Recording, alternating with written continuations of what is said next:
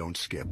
Jesus is saying to you today, if you remain in me and my words remain in you, you may ask for anything you want, and it will be granted.